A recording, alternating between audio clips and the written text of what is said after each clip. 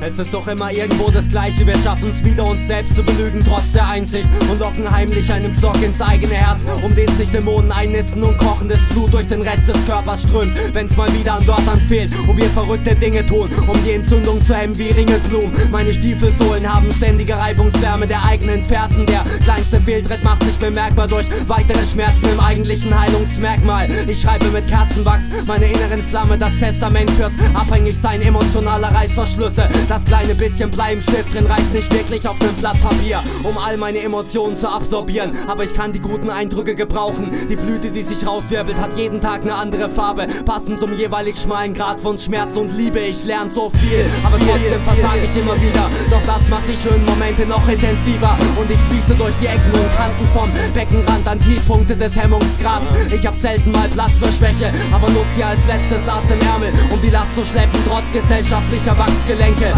Ich sag ins Echte, jeden Tag ein bisschen, das ist mein Leben und meine größte Erfüllung jenseits des Systems und dessen Lügen. Die Fesselspielchen der eigenen Körpersubstanz, vergewiss an ihnen deinen Zugehörigkeitsgrad. Ihr feiert Poolpartys, ich wehr mich gegen Tsunamis auf einsamen Inseln. Während ihr im Treibsand zieh ich andere mit raus. Ein tanzendes Licht braucht keine Melodie, meine Inhalte burnen auch auf Raubkopien. Aber denk dran, du hast es da nur ausgeliehen und wirst es zurückgeben. Aber mir scheißegal, ob du symbolisch tust oder durch Glücksgefühle. One.